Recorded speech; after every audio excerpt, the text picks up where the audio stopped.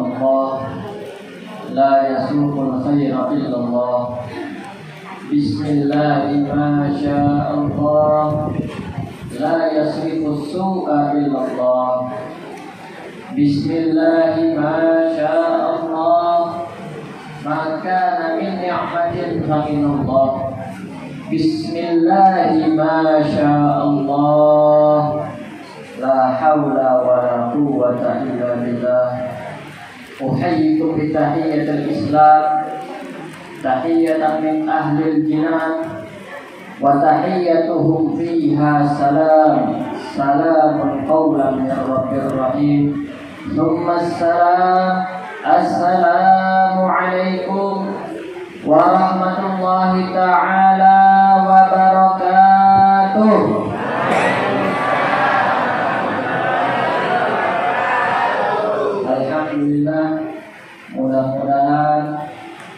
semangat menjawab salamnya tadi Tidaklah ia keluar dari musola ini Melainkan Allah ampuni dosa-dosanya Amin.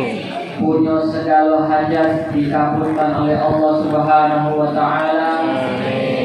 Yang sedang mencari pekerjaan Allah berikan jalan keluarnya. Yang mendapatkan rezeki Allah berkahi rezekinya. Yang punya penyakit Allah sembuhkan sakitnya. Yang punya anak Allah jadikan anak-anaknya anak yang soleh dan soleha. Yang belum punya anak segera Allah berikan anak keturunan. Yang belum punya jodoh segera Allah temukan jodohnya. Yang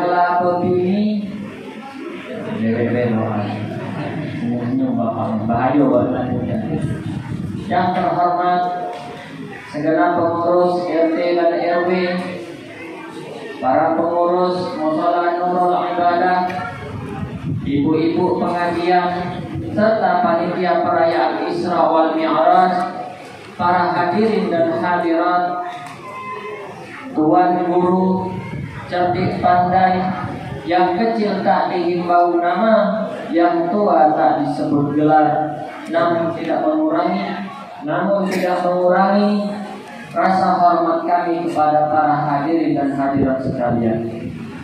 Alhamdulillah Alhamdulillahilladzi ja'ala riyadha jannati lisalikina tariqata ahli bidadi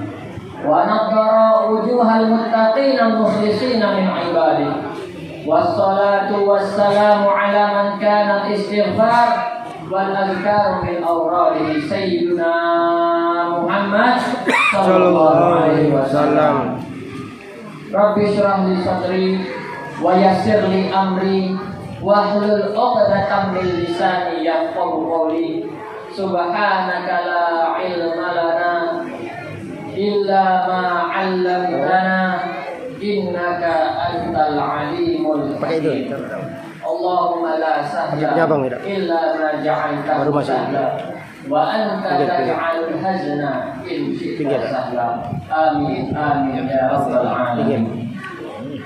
Ma'asyiral hadirin wal hadirat rahimakumullah. Bersyukur kita kepada Allah Subhanahu wa taala yang mana pada malam hari ini kita dikumpulkan oleh Allah Subhanahu wa taala di dalam sebuah pertemuan yang mulia, di dalam acara yang mulia, di tempat yang mulia, di dalam ikatan yang mulia. Mudah-mudahan apa saja yang sudah kita persiapkan, apa saja yang sudah kita berikan, apa saja yang sudah kita kerjakan hari ini merupakan tanda kita sudah bersyukuri nikmat-nikmat Allah Subhanahu Wa ta'ala. sehingga nantinya mudah-mudahan kita mendapatkan ganjaran yang berlipat ganda dari Allah Subhanahu wa taala. Sebagaimana janji Allah Subhanahu wa taala di dalam Al-Qur'an, la in syakartum la azidannakum wa la in kafartum inna 'adabi lasyadid.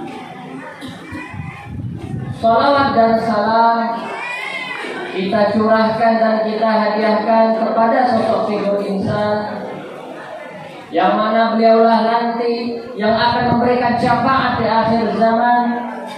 Beliau adalah Sayyidina Muhammad Sallallahu Alaihi Wasallam.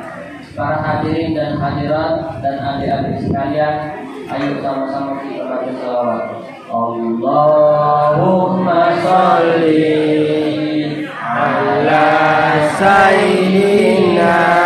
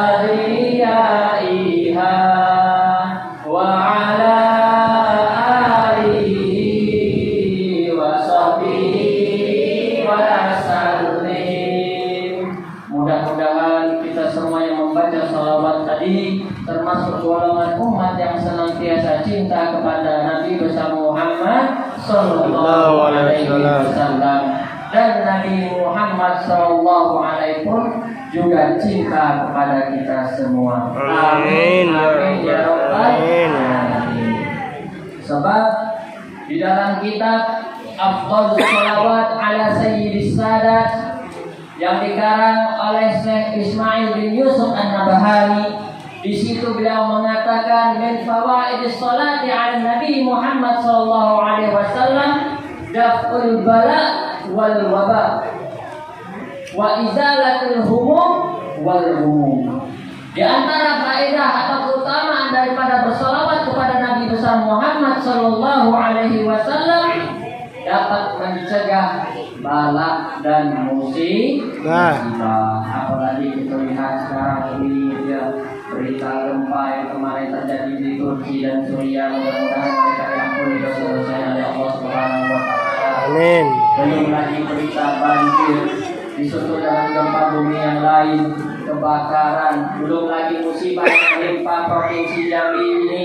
Ya, pada generasi muda-muda kita, ya malam-malam mereka bukan yang mencari sesuatu yang bermanfaat, justru bawa parang, bawa golok, bawa samurai lah. Zaman sekarang ini dahsyat. Yo, zaman sekarang ini dah dahsyat hebat-hebat kalau kita nengok budak-budakmu, budak-budak muda. Kalau dulu mungkin budak-budak muda bawa parang, tapi yang dibelahnya kelapa. Tapi kalau sekarang bawa parang, yang nak dibelahnya ke Bala. Mudah-mudahan kita semua selalu berada dalam lindungan Allah Subhanahu wa taala. Amin, amin ya rabbal Alamin. Ma'asyiral hadirin wal hadirat rahimakumullah. Jikalau kita berbicara tentang peristiwa Isra wal Mi'raj Nabi besar Muhammad sallallahu alaihi wasallam tentu peristiwa ini sudah sangat familiar sekali di telinga kita. Setiap tahun kita selalu mengadakan acara peringatan Isra wal Mi'raj. Setiap tahun subhanallah diadakan dengan meriah dengan sukacita di mana-mana di setiap masjid pagi, siang, sore, malam bahkan sampai ada yang tengah malam semuanya melaksanakan acara Isra wal Mi'raj. Di antaranya apa? Supaya umat Islam mau berkumpul, mau bersatu, memperkuat tali silaturahmi. Makanya kalau diundang hadir acara Yoda Tahu. Sempat sempatkan dah. Tahu. Kemudian juga dari peristiwa Isra wal Mi'raj tadi berdasarkan firman Allah Subhanahu wa taala yang sudah dibacakan oleh adik kita tadi di awal surat Al-Isra Allah Subhanahu wa taala berfirman Subhanalladzi asra bi 'abdihi laila minal masjidil harami ilal masjidil aqsa alladzi barakna haulah linuriyahu min ayatina innahu huwas samiul basir. Tentu kita semua pasti sudah paham dan tahu bagaimana cerita peristiwa daripada Isra Mi'raj Nabi besar Muhammad Sallallahu Alaihi Wasallam. Bapak-bapak sudah paham, juga sudah paham, ibu-ibu pun juga lebih paham, lebih paham. Tetapi di sini banyak sekali hikmah dan pelajaran yang bisa kita ambil daripada peristiwa Isra Mi'raj Nabi besar Muhammad Sallallahu Alaihi Wasallam. Ya. Maka berangkat dari firman Allah Subhanahu wa taala yang diawali dengan kalimat subhana. Apa bunyi firmannya awalnya? Subhan, subhana. Maha suci. Jadi di sini Allah mengajarkan kepada kita bahwa Allah Subhanahu wa taala yang maha suci. Allah Subhanahu wa taala yang maha besar. Allah Subhanahu wa taala yang maha tinggi. Dan kita tidak ada apa-apa. Oleh karenanya, di antara salah satu amalan atau zikir yang bisa kita gunakan untuk mengagungkan Allah Subhanahu wa taala yaitu tas tasbih. Tasbih itu dari mana asal kalimatnya? Dari kalimat sabbaha yusabbihu tasbihan. Artinya apa? Mensucikan. Berarti kita ketika bertasbih itu mensucikan Allah Subhanahu wa taala. Kira daripada kita ngobrol yang tidak-tidak, ngomongin orang yang tidak jelas, mending kita baca tas. Subhanallah walhamdulillah wa la ilaha illallah. Allahu akbar wa la